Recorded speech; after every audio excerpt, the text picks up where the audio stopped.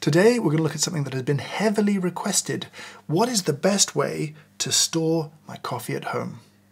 We're going to be looking at a whole range of storage canisters and containers and trying to understand what impact they have on your coffee and which one potentially might be the best. Now there are 11 different options here in front of me. That is by no means exhaustive, but we're going to look at them from a sort of technology perspective and hopefully you can take what we learn here and apply it to other models on the market and decide if they work for you. To begin with, I'll walk you through each of them here, what they are, who made them, and what they cost. So starting at the beginning, we've got an OXO Good Grips container here.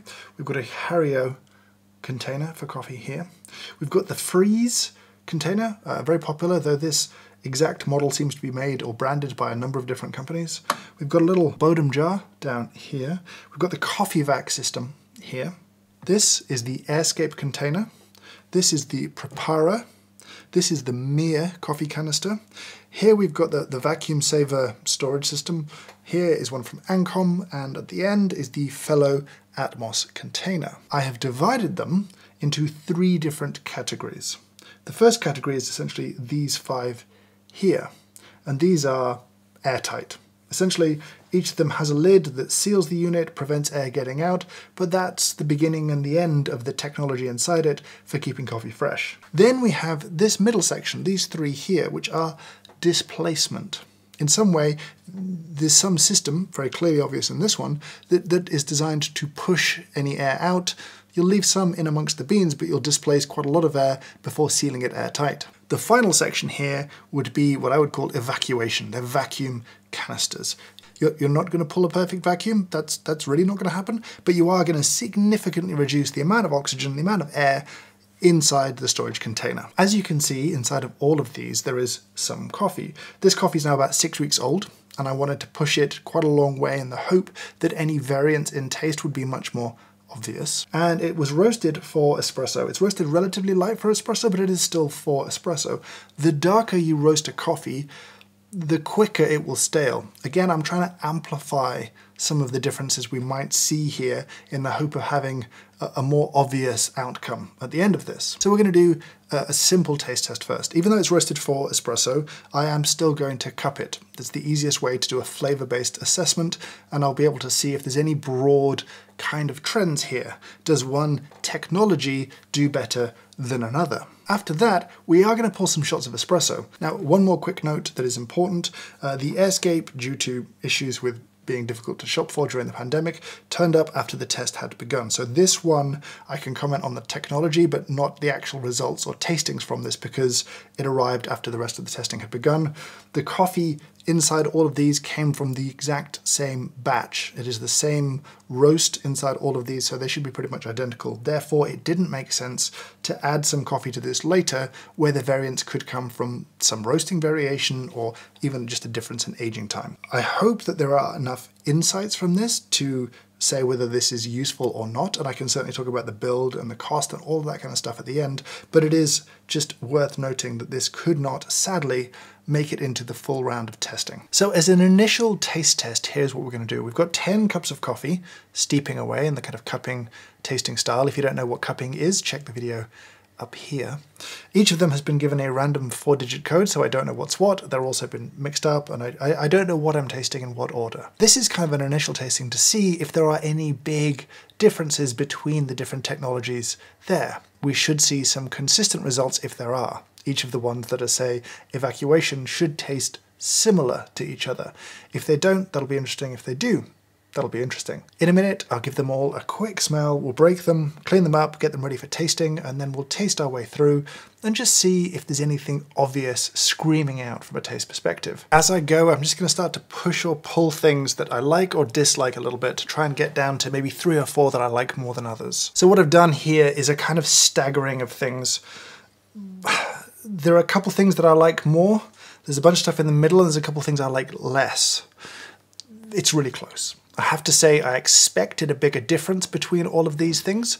It'll be interesting to see if more variation has shown up in other testing, but but here, if it's not in the same category, well, that's kind of interesting. I'll take it as a win for those particular products, but if it's if it's not consistent, that'd be a surprise. So having had a look at the results on my laptop, broadly there's some trends, which is evacuation does a little bit better. That doesn't mean every canister that's an evacuation canister does better. And while the fellow did well and the vacuum coffee saver did well, this one up here was interesting, which is just the coffee vac, which is just a straight displacement system. So it's not universal, certainly. You had some good results with the straight displacement, but evacuation on average did a little bit better with exception of the Ankomn that didn't do as well in this test. Generally speaking, a little bit more sweetness and clarity in the evacuated canisters. So yeah, I, I think that's a kind of win for the category uh, and a little win for a few here, but also a win for the coffee vac, which I thought did pretty well.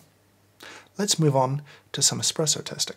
What I wanted to do with espresso testing was a couple of things. Firstly, what I was interested in was pulling some shots and looking at how much crema I got.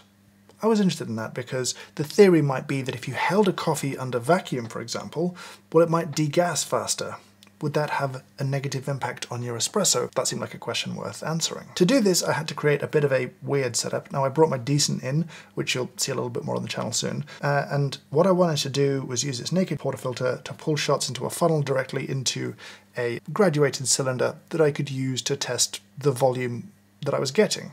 If that was on a scale, I could measure my mass, I could get my volume, and then ultimately a simple density calculation at the end of it. That would tell me broadly speaking, how much crema I had. How much of that volume was foam. So I did that. I pulled at the same grind setting, because it was the same coffee, what had been uh, an ideally kind of 28-29 second shot, though what we saw was some pretty big variances in shot time. Slower shots produced more crema because slower shots seemingly channeled less.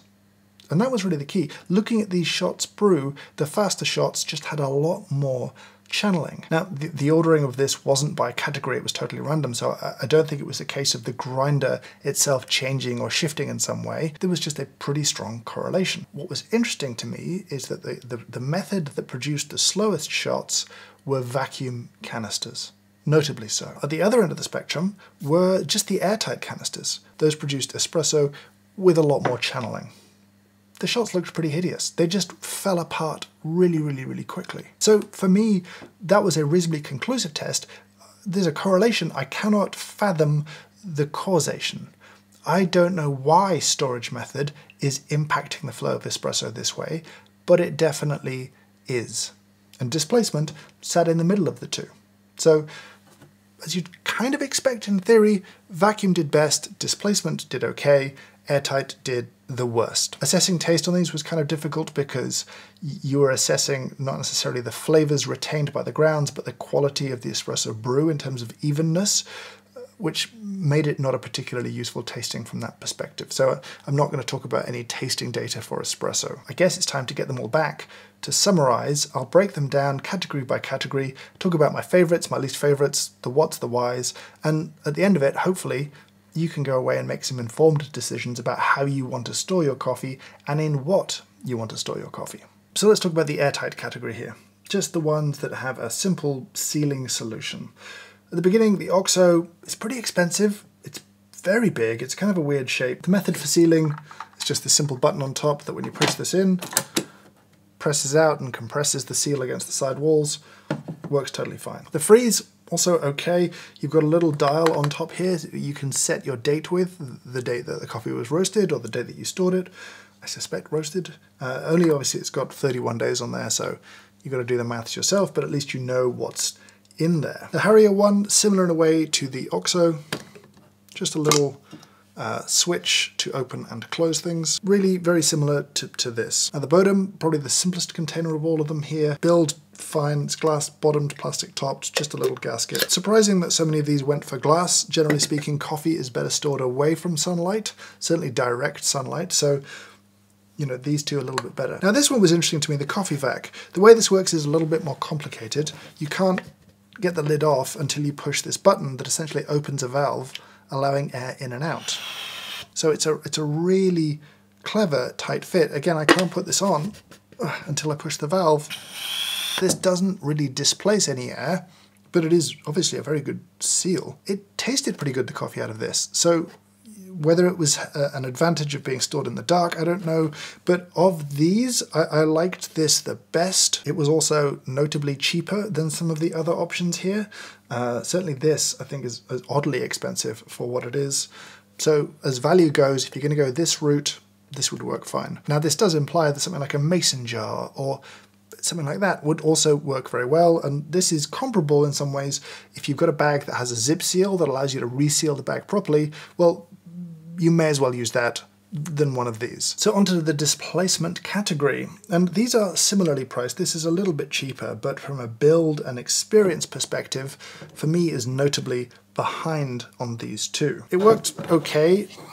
I've got quite large hands, and so getting them into that space, certainly as this got deeper, would become quite uncomfortable. If you've got smaller hands than mine, and I confess I have reasonably large hands, that's not going to be an issue, but hey, it's an issue for me. The Miir, the build is very nice.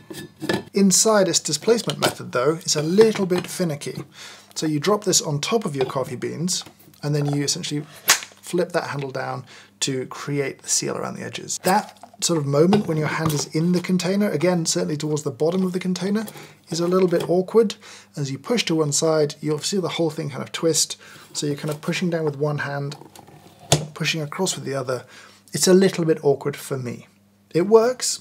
I, I, I like it. I think it's very well made. But that moment for me is just a little bit fussy.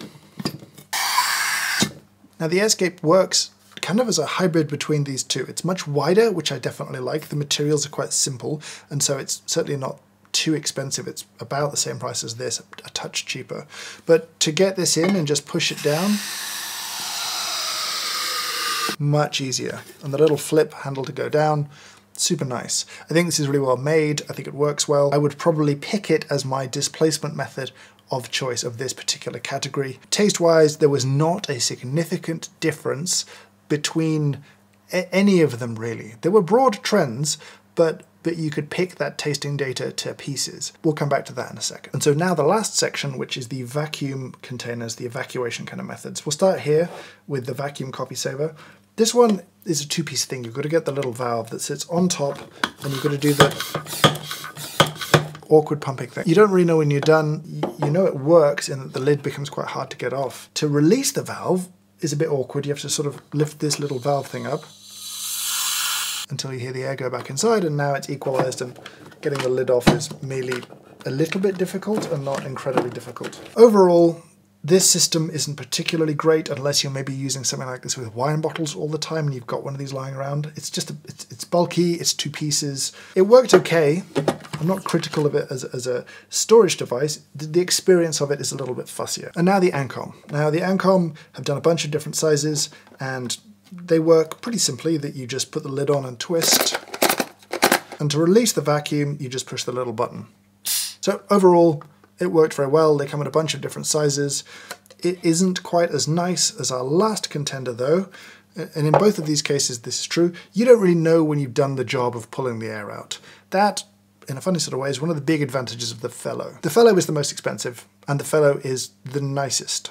It works the best, it's the most thought through. It's not perfect, but of the ones I tested, it would be my choice to keep. The way it works is very simple. You've got a press to release valve on top, and, and the evacuation method is a, a, little bit awkward. It's one of the flaws, I guess. You do a kind of backwards forwards thing. The good news is that it tells you when to stop. You keep doing that until a little green line appears around the vacuum section here, showing that you have a vacuum. When you do this with very fresh coffee, you do see those little gauges uh, depressurize, essentially, because enough gas has come out of the grounds, it seems, that you don't have the same pressure that you did before. That means no new air is getting in, there's just a bit more gas filling that vacuum inside this space. What I saw is that the first few times I sealed it, when I came back to it a day or two later, the little green circle had disappeared. It was just that there was CO2 coming quite rapidly out of those very fresh coffee beans after a week or so, that simply didn't happen anymore. I don't think it's a fault of the product. I don't think there's a way around it other than you keep going back to it regularly and trying to pull more of the CO2 out, but there's no real advantage to that. So, so don't worry about it. My criticisms, if anything, would be that there's a little bit more complexity to this part where you might want to clean. There's no real obvious way to disassemble this or clean this if it got dirty over time. Hopefully you shouldn't have much coffee coming into contact with this. It's not like you're going to be shaking your tin around or storing it upside down or anything like that, but it's an issue. And yeah, the, the backwards and forwards is not quite as nice. And so that kind of takes us to an end point, wherein I would say, of the containers tested, I think the Fellow was probably the best. It's the most expensive though, but the features are nice, it looks great, it feels very well made, and it produced good results. But the results from a taste perspective were not what I hoped them to be. I didn't see massive, massive differences in taste between those different coffees, and that was surprising to me. That would also mean that in many situations, I'm probably happy storing coffee inside a resealable bag, assuming that bag is well made, airtight otherwise, and obviously dark and not transparent. But if that isn't an option to you, if you want something different, if you don't want the bags around, if you just don't like them, if you're getting coffee delivered in something that isn't designed for longer term storage, and you're looking for a container, my preference would be for the Fellow. But I also liked a couple of the others. I was impressed by the Coffee Vac. I think the Airscape is well made too. They would certainly be good options as well. In terms of value for money, that's up to you. But I'd be interested to know your thoughts, your experiences. Have you had this? Do you have these? Did you buy them? Have you had a very different experience to me? Do you like some more than others? Did you start using one and then stop? Have you started using one recently and have you seen improved results? I'd love to hear your thoughts. I'd love to know your experiences. Leave them down in the comments below.